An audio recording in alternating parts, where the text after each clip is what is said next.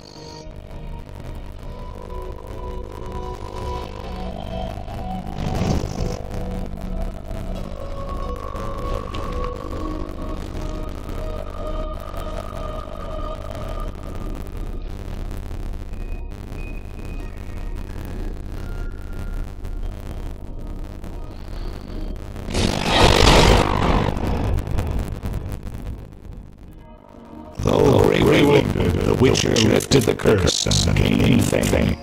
The world will change with the coming of the Great War, the time of the sword and axe, the time of disdain. Geralt of Rivia disappeared, all forgotten.